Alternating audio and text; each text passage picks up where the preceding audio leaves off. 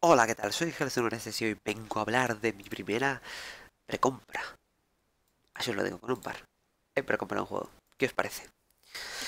Y, el juego sale mañana. Y no sé cómo sentirme, ¿vale? Porque es la primera vez que hago esto. Y además es un juego que sé que me va a exigir más desembolsos en el futuro. Pero creo, creo, creo realmente que puede ser un juegazo. Y el juego, claro, juego para mí, o sea, el juego de que me, que me diga, hostia, esto sí que es un juego, o sea, que lo disfrute de verdad. Y vamos a hacerlo por partes. Primero voy a decir el título. El título del juego que he comprado se llama Stellaris. Quien iba a pensar que aquí iba a poner Overwatch, Stellaris. Voy a ponerlo ahí en medio, la pantallita. Stellaris, ¿qué es Stellaris? ¿Quién es Stellaris? ¿Qué ha pasado? ¿Quién eres tú, Stellaris? ¿Y de dónde has salido? Bueno, pues Stellaris es un juego que os recomiendo buscar. Ya, ya me oís a mí intentando teclear Stellaris. Eh, es un juego que, bueno, eh, es de Paradox, ¿vale? Ya sabéis lo que pasa con Paradox. Bueno, Paradox tiene, vamos a empezar por el principio. Paradox es una pedazo de empresa del copón que tiene unos eh, impresionantes juegos. O sea, no le dé más vueltas. Eh, Crusader Kings es suyo. Vale, han sacado muchos DLCs y evidentemente es un desangramiento nuclear para la gente normal. Hay que pagar muchas veces y tal. Pero es brutal. O sea, son juegos brutales. El Europa Universalis, que son brutales todos. Y todos los demás. El resto de juegos uh, pues una maravilla. Y, y aquí está, Stellaris. ¿Qué va a ser Stellaris o qué es Stellaris? Porque pues ya sabe mañana, como digo. Es un juego del espacio de 4X, lo, que se llama. No me acuerdo las siglas de 4X, pero bueno, es de estrategia tipo... 4X, por ejemplo, es el Civilization, ¿vale? No se parece al Civilization. Es estrategia en tiempo real que se puede pausar. O sea, no es por turnos. O sea, en- es igual que sus juegos de Crusader Kings o Europa Universalis. Van por la misma línea. Y es de guerras galácticas. Una galaxia, varios imperios y tomar la galaxia. Parecido ahí al Endless Space. En ese, en ese sentido solamente. Todo lo demás es distinto. Porque es en tiempo real. Pausable, etc, etc, como digo. Pues una pasada. Tiene una pinta magnífica y maravillosa. Vamos a, voy a poner por aquí otra, otra imagen y tal. Y... En fin, no sé, ¿qué os, qué os puedo decir? Uy, perdonad. ¿Qué os puedo decir? Eh, esto es un planeta, ¿vale? El, el desarrollo del planeta no me gusta mucho.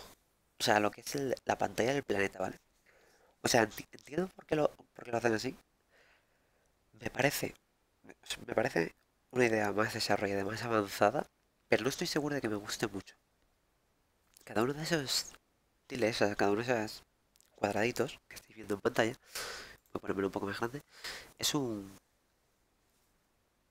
un terreno, digamos, en el, en la, en el planeta. Los que, hay algunos que están bloqueados, que son esos que están como con- en rojo y negro, y tenéis que aprender a desbloquearlos o desbloquearlos gastando recursos. Y, y, perdón, y después el resto de, de tal puedes construir en ellos, da una serie de recursos al turno, los recursos del turno están arriba, eh, hay, bueno, evidentemente hay eh, investigación, flotas, construcción, eso es obvio, ¿vale? Pero bueno, como decía, es que no quiero tampoco meterme todo porque va a haber serie casi fijo. El desarrollo del planeta no estoy seguro de que me guste. Me parece más maduro, pero no sé, es un poco rarito y un poco simplón. Pero me gusta, me gusta. el juego lo he visto, lo he visto jugar a Scott Mal y me gusta mucho. Me gusta mucho el juego. Me parece que se puede flipar uno mucho, lo cual es maravilloso. Y fijaos, por ejemplo, en esta, en esta foto. Esos son los imperios. Y cada, cada, cada planeta, cada, perdón, cada sol, cada estrella, vamos a hablar bien, cada estrella es un sistema solar. Tiene sentido. sistema de, la estrella. Sistema solar, no, el sistema solar es del, del Sol. Pero el sistema de cada estrella tiene una serie de planetas, asteroides, cada planeta puede tener lunas, lo que sea. Eh, o sea, dentro de lo que estáis viendo ahí, hacéis zoom adentro del sistema solar. Y en el sistema solar se lucha y se construye y, esas cosas, ¿vale? Que es la imagen que veíamos antes. Pero en ese sistema solar podéis encontrar, eh, bueno, anomalías, etc. Razas subdesarrolladas que después podéis ayudar a, desarrollarse. Y...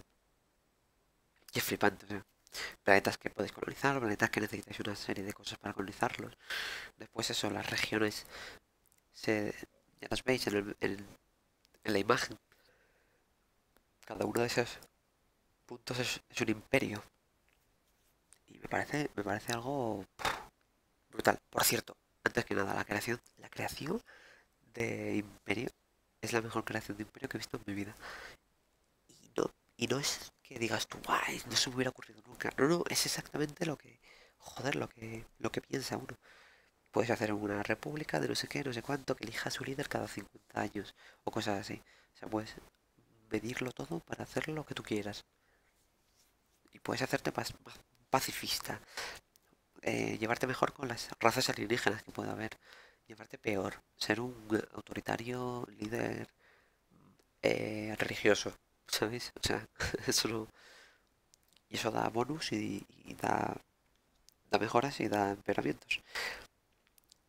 Y ya desde el minuto uno yo creo que es súper divertido y entretenido a muerte. Brutal. Lo que he visto es brutal. Y además está muy bien compensado por lo que dicen. Tengo muchas ganas de jugarlo hasta en game, ¿vale? Porque el early es mucho de exploración y colonización, evidentemente. Después el mid. Bueno, en el mid evidentemente hay peleas, hay luchas por el poder y tal. Pero el game lo que dijeron es que en muchos juegos suele haber un imperio que va mejor, mejor que el resto, entonces machaca al resto de imperios. Los aplasta en el endgame, porque no puedes luchar contra ellos. Pero lo que han puesto son eventos en plan amenaza extra o sea, de fuera de la galaxia la que está luchando. Y llega, igual, igual te invaden un montón de flotas en medio de tu imperio. Entonces, claro, tú imagínate que tienes un imperio bestial que ocupa la mitad de la galaxia, pero hay una rebelión y la mitad de tus planetas, o lo que sea, una parte de tus planetas se te rebelan. O a lo mejor puede haber hasta una supernova y volar varios planetas, o lo que sea. O sea, eventos que le meten un poco de aleatoriedad, pero que lo hace a su vez estar más compensado y ser más interesante y no poder dormirte en los laureles. A mí me gusta mucho. Vamos a ver, esta es zoom eh, una flota. Bueno, pone alfa, ¿vale? Pero bueno, así es como se ve ahora mismo.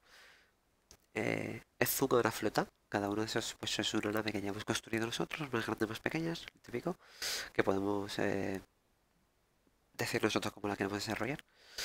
Y eso es una estrella y y hay un planeta ahí, que cada uno tiene un nombre. Y las batallas son así. O sea, flota contra flota, los veis dentro del sistema solar pegándose. Dura lo que dure.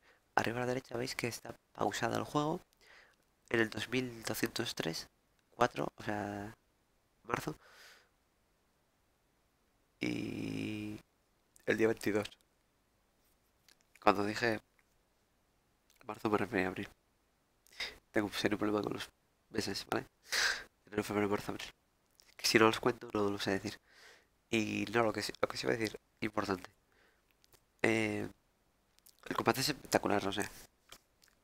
Porque, a ver, Paradox, nunca hemos estado en el combate como tal. Son estadísticas, básicamente. Pero aquí ves las naves lanzarse misiles y moverse y tal. Está muy guay. Me vais a disculpar las pausas, son para bostezar, porque no he dormido nada. eh, ¿Qué más? vamos a hablar sobre alguna imagen que pueda... No sé, os enseño esto porque a lo mejor me lo como, ¿vale? El juego y es una puta mierda o no crasea desde el primer minuto o lo que sea. Pero como yo creo que, o sea, lo voy a querer jugar y además que voy a querer probar el multiplayer y voy a querer probar los mods y va a ser un juego que me voy a comprar todo temprano. Me lo compro ya y me, me regalo un DLC y ya está. Y se me quito uno de comprar. Y yo creo que va a ser muy bueno. Muy buen juego. Sinceramente os lo digo. Me da un poquito de miedo, pero yo lo voy a intentar. ¿Qué opináis? Buena compra, mala compra. Yo, yo que vosotros. Que sé que, bueno, si estáis en este canal, pues bueno, os puede gustar World Warships, ¿vale? Pero si os gusta el juego de estrategia, que yo creo que muchos de vosotros sí, eh, yo os recomiendo, o sea, no comprarlo ni, o sea, pero comprarlo no. Y comprarlo, ya sabéis lo que opino, o sea, primero lo probáis y después lo jugáis. Esta fue una locura que me dio. Eh, pero estar atentos para cuando salga piratilla y probarlo. Ya sabéis, si os gusta lo compréis. Vale. También es verdad que de Paradox no os recomiendo que lo compréis porque van a salir muchos DLCs y os van a obligar a comprar DLCs, casi. Pero bueno. Pero seguro que sale un pack en el futuro. Este es uno de los mayores proyectos que, de hecho, mucha gente tiene la vista puesta en Stellaris porque puede ser el que cambie los 4X. O sea, es el 4X definitivo. Algunos lo llaman así, vamos. Que puede ser el, el gran cambio. No sé, yo tengo muchas ganas, la verdad. Tengo muchas ganas de jugarlo, va a haber series seguramente. Voy a subir vídeos. Y nada. Y sin más, me despido hasta el siguiente vídeo. Que será de Kerbal Space Program, pero no os preocupéis, va a haber de Stellaris. A ver qué tal es el juego. Nos vemos. Chao.